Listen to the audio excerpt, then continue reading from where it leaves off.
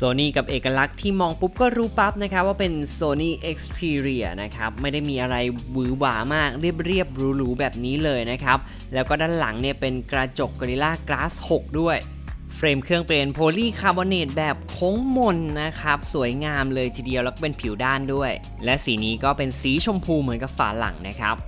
ยังมีที่เสียบหูฟังอยู่ทางด้านบนนะครับ พร้อมกับไมค์หนึ่งตัว ส่วนด้านล่างมีไมค์อีกหนึ่งตัวนะครับ พร้อมกับพอร์ต USB C ครับด้านซ้ายเป็นที่ใส่ซิมแบบเอกลักษณ์ของ Sony นั่นก็คือสามารถใช้นิ้วของเราแกะออกมาได้เลยนะครับ เป็นแบบ 2 ซิมไฮบริดนะครับ ช่องที่ 2 สามารถเลือกใส่ซิม หรือว่าจะใส่ micro SD card ก็ได้ครับ ปุ่มทั้งหมดอยู่ด้านขวาของตัวเครื่องนะครับ ตั้งแต่ปุ่มเพิ่มลดเสียงนะครับ ปุ่ม power ที่เป็นที่สแกนนิ้วไปด้วย และอีกหนึ่งปุ่มนะครับ ที่เราคุ้นเคย ปกติจะเป็นปุ่มชัตเตอร์แต่คราวนี้กลายเป็นปุ่ม Google Assistant ไปแล้วครับการสแกนนิ้วก็แม่นยำนะครับ แล้วก็ตอบสนองได้ดีนะครับ อาจจะไม่ได้เร็วมาก แต่ก็ถือว่าโอเค มี haptic feedback สั่นกลับมาเวลาแตะด้วย หน้าจอกับดีไซน์ที่เราคุ้นเคยกับ Sony Xperia กันเป็นอย่างดีนะครับ มีลักษณะทรงสูงเลย อัตราส่วน 21 ต่อ 9 นะครับ และกระจกด้านหน้าก็เป็น Gorilla Glass 6 เช่นเดียวกันครับ อันนี้ก็สุดยอดเหมือนกันนะฮะ เรียกว่าให้ Gorilla Glass 6 ทั้งด้านหน้าและด้านหลังเลย ด้านบนยังคงมีขอบจออยู่นะครับ Sony ยังไม่ได้เปลี่ยนนะครับ ไม่ได้ไปใช้แบบหยดน้ำไม่ได้ใช้เป็นติ่งอะไรใด ๆ เลยนะครับ แต่ว่ามีขอบจอที่เล็กลงเมื่อเทียบกับรุ่นที่แล้วนะครับ ก็มีเซ็นเซอร์ต่างๆ แล้วก็มีกล้องรวมไปถึงที่คุยโทรศัพท์อยู่ครับส่วนขอบจอด้านล่างก็เล็กลงเช่นเดียวกันนะครับ และที่เห็นนั้นคือลำโพง เป็นแบบ front facing นะครับ ยาวทั้งแถบเลย การจับถือก็เล็กเข้ากับมือดีนะครับ ผมเรียกเป็น compact phone ได้เลยนะครับ แล้วก็เทียบกับ iPhone ให้ดูว่าขนาดนั้นก็ไม่ได้ต่างกันมากเท่าไหร่ ก็ต่างกันแค่สูงกับกว้างแค่นั้นนะครับ น้ำหนักตัวเครื่องครับ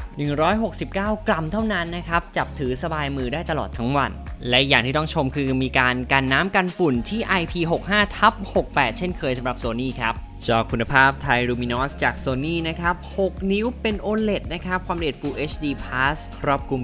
97% DCI P3 นะครับ แล้วก็เป็นจอ 60 Hz จุดนี้เป็นสิ่งที่น่าเสียดายนะครับ เพราะว่าปัจจุบันนี้หลาย ๆ แบรนด์เนี่ยระดับกลางเองก็ให้จอขั้นต่ำอย่างน้อยต้อง 90 Hz แล้วนะครับโซนี่กลับให้มาแค่ 60 ครับ แต่ก็สามารถใช้งานต่าง ๆ ได้ดีนะครับ เรื่องของความคมชัดรายละเอียดต่าง ๆ ก็ดีครับ เรื่องของความสว่างเองก็ไม่ได้สว่างอะไรมากมาย อยู่ในระดับกลาง ๆ ที่โอเค หน้าจอปรับโหมดได้นะครับ ค่าเริ่มต้นเป็น Standard Mode สีจะออกสดสดแล้วก็ออกไปทางโทนเย็นนะครับ ถ้าปรับเป็น Original Mode เนี่ยก็จะไปใกล้เคียงกับ sRGB สีก็จะตรงกว่า และใน Standard Mode เองก็มีโหมดอย่าง Video Image Optimization นะครับ เมื่อเปิดเนี่ยเขาบอกว่าจะไปปรับเรื่องของความคมชัดนะฮะ หรือว่าปรับคุณภาพของคลิปนั่นเอง ซึ่งก็เอฟเฟกอย่าง YouTube นะครับ แล้วก็ Netflix ด้วย จากการใช้งานเนี่ย พอเข้าแอป YouTube นะครับ มันจะเปลี่ยนโทนภาพเป็นโทนแบบเย็นนะครับ พอออกจากแอปปุ๊บจะเห็นว่ามันสวิตช์เป็นโทนเหลืองกลับมาปกตินะครับ พอเข้าปุ๊บก็จะกลายเป็นโทนเย็น พอออกมาก็กลายเป็นโทนเหลืองปกตินะครับ น่ารำคาญเหมือนกันนะ Netflix เองก็เป็นเช่นเดียวกันนะครับ ส่วนตัวไม่ได้รู้สึกว่าต้องเปิดโหมดนี้นะครับ เหมือนมันปรับภาพเป็นโทนเย็นเฉยๆนะครับ แล้วก็มีความน่ารำคาญเวลาออกจากแอปด้วย เพราะฉะนั้นตัวตัวก็ไม่ได้เปิดโหมดนี้ไว้ การชม YouTube เองก็คมชัดดีนะครับ แล้วก็สามารถแสดงผล HDR ได้อย่างสวยงาม ไปทางฝั่งของ Netflix กันบ้างนะครับ แสดงผล HDR เช่นเดียวกัน แล้วก็ความละเอียดอยู่ที่ Full HD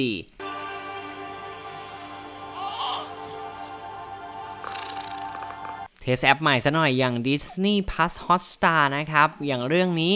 Mandalorian นะครับ ซึ่งถ้าดูใน iPhone เนี่ยจะแสดงเป็น HDR นะครับ แต่ว่าพอดูจาก Android ตัวนี้ก็ยังไม่แสดงเป็น HDR ไม่แน่ใจว่าเป็นที่แอป หรือว่าเป็นที่สมาร์ทโฟนนะครับ ยังไงก็ test ให้ดูแล้วกันว่ายังไม่แสดงเป็น HDR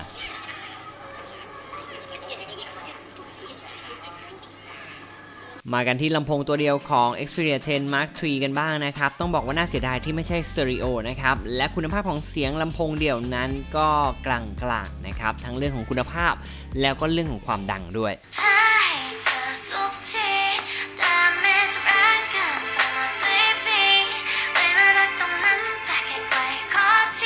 เปคกันบ้างนะครับ ใช้ชิป Snapdragon 690 นะครับ มากับ RAM 6 g b แล้วก็ความจุ 128 นะครับ สามารถเพิ่ม micro SD card ได้ เครื่องนอกที่รีวิวไม่สามารถใช้ 5G ได้นะครับ ส่วนเครื่องไทยต้องรอดูกันครับ วัดคะแนน Geekbench Single Core 588 นะครับ Multi Core อยู่ที่ 1,700 ครับ ทดสอบเกม Genshin Impact นะครับ ค่าเริ่มต้นอยู่ที่ขั้นต่ำนะครับ หรือว่าโลนั่นเองนะ สามารถเล่นได้ลื่นเลย อันนี้ก็ไม่น่าห่วงเท่าไหร่นะครับ เป็นค่าเริ่มต้นที่เครื่องเลือกมาให้เราเลยนะครับ ลองปรับเป็นมีเดียมหรือว่าระดับกลางก็จะขึ้นว่า overclock สีส้มแต่ยังไม่เต็มหลอดนะครับ อันนี้ก็ยังสามารถเล่นได้ลื่นเหมือนกันนะครับ จะมีกระตุกนานๆทีหนึ่งก็ยังถือว่าน้อยมากๆ สำหรับผมยังถือว่าเล่นได้ลื่นอยู่ แล้วก็ลองปรับเป็นระดับสูงหรือไฮนะครับ อันนี้ก็จะเห็นเลยว่าเฟรมเรทตกอย่างชัดเจน มีการกระตุกเกิดขึ้นนะครับ ก็เล่นไม่ลื่นเท่าไหร่ ก็แนะนำสำหรับใครที่เล่นเกมชิน Impact กับ Xperia 10 Mark III ก็อยู่ในระดับกลางน่าจะดีที่สุด ทดสอบเพิ่มเติมกับแอป 3D Mark นะครับ กับชุด Slingshot คะแนนอยู่ที่ 3,219 คะแนนครับ ส่วนชุด Wildlife นั้นอยู่ที่ 826 คะแนน 10 Mark III มากับแบตเตอรี่ขนาด 4,500 มิลลิแอมนะครับ เรียกว่ามากขึ้นกว่ารุ่นที่แล้วนะครับ ที่อยู่ที่ 3,600 มิลลิแอมและด้วยความที่ใช้ชิปเซตระดับกลางนะครับ หน้าจอไม่ได้ใหญ่มาก แล้วก็มี refresh rate อยู่ที่ 60 Hz นะครับทำให้ผลออกมานั้นคือแบตเตอรี่ที่อึดสุดๆครับจากการใช้งานจนเหลือแบต3%ครับ screen on time อยู่ที่ 8 ชั่วโมง 54 นาที เกือบ 9 ชั่วโมงครับ เรียกว่าอึดมากนะครับ วันไหนที่ผมใช้น้อยจริงๆเนี่ยเรียกว่าหลุดไป 1 วันครึ่งได้เลย สิ่งที่น่าเจ็บปวดใจนั่นก็คือ Sony ให้ที่ชาร์จ 7.5 วัตต์มานะครับ ไม่คิดเลยว่ายุคนี้จะได้เห็นการให้ที่ชาร์จ 7.5 วัตต์มากับสมาร์ทโฟนราคากลางแบบนี้ ทดสอบการชาร์จการจากแบต 0%เลยนะครับ 30 นาทีกับ 7.5 วัตต์จัดไปครับ ได้กลับมาอยู่ที่ 19%แต่เมื่อผมเอาที่ชาร์จนะครับ 63 วัตต์มาลองชาร์จดูนะครับ ก็ได้ผลที่แตกต่างกันออกไป ชาร์จจาก 0%เป็นเวลา 30 นาทีนะครับ ได้แบตกลับมาอยู่ที่ 41%นั่นก็หมายความว่า Sony Xperia 10 Mark III นั้นสามารถ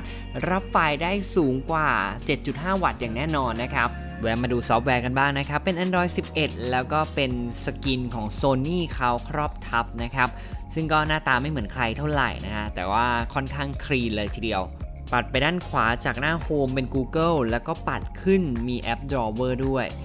Live Wallpaper เวลาปลดล็อกนิ้วก็สวยงามเก๋มากๆนะครับ อันนี้ผมชอบ อีกอย่างที่ใช้งานได้สะดวกดี แล้วก็มีแค่ของ Sony ก็คือ Side Sense นะครับ เป็นการ double click 2ครั้งที่ tab เล็กๆ ทางด้านขวา แล้วก็ย้ายตำแหน่งได้ด้วยนะครับ ไม่จำเป็นต้องอยู่ด้านขวาอย่างเดียว ซึ่งเวลาเปิด Side Sense ขึ้นมาก็จะมีเมนูลัดต่างๆนะครับ เป็นแอปที่เราใช้บ่อยๆ หรือว่าเราสามารถเซตได้ นอกจากเปิดแอปปกติแล้วสามารถเปิดเป็น pop up ได้ด้วยนะครับ ซึ่งก็จะเปิดขึ้นมาเป็นช่องเล็กๆ ซึ่งสามารถย้ายไปมาได้ แล้วก็สามารถใช้งานได้จริงด้วย 2 แอปบนหน้าจอเดียวก็สามารถกดได้จาก Side Sense นี่แหละนะครับ โดยการเลือก 2 แอป โดยแอปแรกจะแสดงผลด้านบนนะครับแล้วก็แอปที่ 2 จะแสดงผลด้านล่างครับและด้วยประโยชน์ของหน้าจออัตราส่วน 21 ต่อ 9ทำให้การใช้ 2 แอปนั้นค่อนข้างได้เนื้อที่ทั้ง 2 แอปเลยนะครับอันนี้ก็ถือว่าเป็นข้อดีของอัตราส่วนนี้ อีกหนึ่งอย่างที่ชอบสำหรับซอฟต์แวร์ของ Sony นั่นคือเรื่องของ battery care นั่นเองนะครับอันนี้ก็จะมีในหลาย ๆ รุ่นละที่ผ่านมาของ Sony ทั้งนั้นเลย ก็จะเป็นการดูแลแบตเตอรี่ของเราให้ใช้ได้ยาวนาน เสื่อมช้ามาก ๆ นั่นเองนะนะครับกล้องกันบ้าง กล้องหลังมี 3 ตัวด้วยกัน กล้องหลัก 12 ล้านพิกเซล f 1.8 Phase Detection Auto Focus นะครับ มีกล้อง Ultra Wide 8 ล้านพิกเซล f 2.2 กว้าง 120 องศานะครับ และกล้องซูม 2 เท่า 8 ล้านพิกเซล f 2.4 ครับ อันดับแรกต้องบอกว่าตัวกล้องนั้นเปิดค่อนข้างช้านะครับ น่าจะเป็นปัญหาเดียวกับรุ่นที่แล้ว รวมไปถึงชัตเตอร์เองก็มี lag นะครับ กดปุ๊บมันไม่ได้ถ่ายปั๊บทันทีนะครับ อันนี้ก็ต้องแจ้งไว้ รูปถ่ายจากเลนส์หลักที่แสงเพียงพอ ผมต้องบอกว่าอยู่ในขั้นที่ดีเลยในเลนส์ราคานี้นะครับ เก็บรายละเอียดได้ดี สีสันก็น่ามองไม่ได้สดจนเกินไปด้วย เพราะว่ามี AI ช่วยจับ scene ต่างๆนะครับแล้วก็ปรับภาพให้อัตโนมัติ รวมไปถึงมี HDR ด้วยนะครับ ตัวนี้สามารถเปิดปิดหรือว่าจะตั้งเป็นออโต้ไว้ก็ได้ครับ แต่ก็ต้องบอกว่าโหมดออโต้ก็ไม่ได้ทำงานดีเท่าไหร่นะครับ ในหลาย ๆ ซีนที่รู้สึกว่าเอ๊ะมันควรจะทำงานก็ไม่ทำงานนะครับ ต้องมีการขยับกล้องไปมา เพื่อให้มันทำงาน และเวลาทำงานนั้นก็สามารถดึง Dynamic Range ขึ้นมาได้ระดับหนึ่ง ตอนใช้งานผมเปิดออโต้ไว้ส่วนใหญ่ก็ไม่ค่อยทำงานเท่าไหร่ จะเห็นได้จากภาพตัวอย่างว่าด้านหลังเนี่ยจะส่วนใหญ่แสงโอเวอร์หมดเลย ส่วนภาพนี้นะครับ HDR ทำงานครับ ก็จะเห็นรายละเอียดมากขึ้นนะครับ แต่ก็จะมีจุดอ่อนอยู่ตรงโซนดำๆมืดๆนะครับ ที่ยังไม่สามารถเห็นรายละเอียดได้ชัดมากนัก ในการถ่ายคนนั้น AI จะขึ้นว่า Soft Snap นะครับ ก็จะมีการเกลี่ยผิวให้เราแบบเนียนสวยงามกำลังดีนะครับ ก็เรียกว่าเป็นอีกหนึ่งจุดที่ผมชอบของ Sony นะครับ ในการเกลี่ยผิวที่มันไม่ดูหลอกจนเกินไปอีกอย่างที่ชอบก็คือก่อนกดชัตเตอร์นะครับ คุณสามารถปรับความสว่างได้นะครับ ปรับขึ้นปรับลงได้ตามใจคุณรวมไปถึงโทนร้อนโทนเย็นด้วย อยากให้รูปเป็นโทนไหนปรับได้ก่อนกดชัตเตอร์ครับ และในส่วนของ portrait หน้าชัดหลังเบลอนะครับ ใช้กับสิ่งของเนี่ยผมมีปัญหามากๆเลย คือมันมันขึ้นว่าให้ถอยมานะครับ ถอยมาอีก บางทีก็บอกให้เข้าไปใกล้อีก แต่ก็จับไม่ได้สักทีนะครับ แต่เวลาถ่ายคนนั้นก็ง่ายขึ้น เรื่องของการตัดขอบนั้นก็ถือว่าทำได้ดีเลยครับ มากันที่เลนส์ที่ 2 นะครับ เลนส์ซูม 2 เท่า 8 ล้านพิกเซลนะครับ อันนี้ก็ต้องพูดก่อนเลยว่าสมาร์ทโฟนระดับกลางนั้นหาแบรนด์ไหนที่ให้เลนส์ tele ยากเหมือนกันนะครับ แต่ว่า Sony เขาก็ให้มาใน part ของคุณภาพก็ต้องบอกว่าได้ระดับปานกลางสำหรับผมนะครับ เรื่องของรายละเอียดต่างๆ ก็ไม่ได้เยอะเท่าไหร่นะฮะเมื่อเทียบกับเลนส์หลักนะครับ รวมไปถึงเรื่องของ Dynamic Range เองก็อยู่ในระดับที่โอเคนะครับ ไม่ได้แบบว่าเบอร์วังอลังการนะครับ Auto HDR ก็ทำงานบ้างไม่ทำงานบ้างเหมือนเลนส์หลักเลย ต่อกันที่เลนส์มุมกว้าง Ultra Wide 8 ล้านพิกเซล f 2.2 กันบ้าง นี่เป็นอีกหนึ่งเลนส์มุมกว้างที่ผมชอบเลยนะครับ สามารถเก็บรายละเอียดต่างๆ ได้ดี Dynamic Range เองก็ถือว่าใช้ได้นะครับ ความกว้างก็อยู่ที่ 120 องศาสำหรับคลาสนี้ระดับกลางก็ถือว่าสู้กับแบรนด์อื่นไหวอยู่ ถึงแม้จะให้พิกเซลมาแค่ 8 ล้านก็ตามภาพในที่แสงน้อยนั้น Xperia 10 Mark III ก็รับมือได้ไม่ดีเท่าไหร่ครับจะเห็นว่า noise เยอะนะครับ แล้วก็ภาพมีความ soft ลงไปเก็บรายละเอียดไม่ค่อยได้เท่าไหร่ แต่เขาก็มี night mode มาให้นะครับ เอามาแก้ตรงนี้นั่นเองทำให้ภาพดีขึ้นอย่างเห็นได้ชัดนะครับ ไม่ว่าจะเป็นเรื่องของแสง เรื่องความสว่าง เรื่องของสีนะครับ แต่เรื่องของรายละเอียดนั้นก็ยังคง soft อยู่ Night Mode ไม่ได้ใช้ได้แค่เลนส์หลักเท่านั้นนะครับ แต่สามารถใช้กับอีก 2 เลนส์ได้ด้วยนะครับ เราลองไปดูเลนส์ซูมกันก่อนเลย ถ้าถ่ายด้วยเลนส์ซูมปกตินี่เรียกว่าภาพแทบจะดูไม่ได้เลยนะครับ รายละเอียดโอ้โหหายหมดเลย แต่พอใช้ Night Mode ทุกอย่างก็ดีขึ้นเหมือนกับเลนส์หลักนั่นแหละ รวมไปถึงเลนส์ ultra wide ด้วยนะครับ อันนี้เจอโอ้โหแสงน้อยเหลือตอนกลางคืนไปคือตายเลย แล้วก็ Night Mode ทำให้เก็บรายละเอียดต่างๆ ได้ดีขึ้นด้วยนะครับ แต่ถ้าให้ผมสรุปนะครับ ขอสรุปว่า Xperia 10 Mark III นั้นไม่เหมาะกับรูปแสงน้อยหรือตอนกลางคืนเลยครับ มาดูฟีเจอร์ที่น่าสนใจเพิ่มเติมนะครับ อย่าง manual นะครับ หรือว่า pro mode นั่นแหละที่เรารู้จักกันก็คือการปรับเองในทุกๆ อย่างนะครับโฟกัส shutter speed ISO white balance มีในส่วนของ Creative Effect นะครับ อันนี้ก็คือการใส่ฟิลเตอร์ลงไปในรูปภาพนั่นเองทำให้มันน่าสนใจนะครับ ซึ่งก็มีหลากหลายรูปแบบให้เลือกเล่น มาที่กล้องหน้า 8 ล้านพิกเซล f 2.0 ครับ ถ่ายออกมายังไงก็น่าใส่นะครับ ด้วย Soft Skin Effect ของ Sony นั่นเองนะครับ ก็เรียกว่าเป็นเรื่องปกติอยู่แล้ว มันจะพยายามจับหน้าเราให้ได้มากที่สุดนะครับ คือหน้าเราจะสว่างอยู่ตลอดเวลานะครับ เรื่องของ black g r o u n d dynamic Range ต่างๆ ก็อยู่ในระดับที่โอเค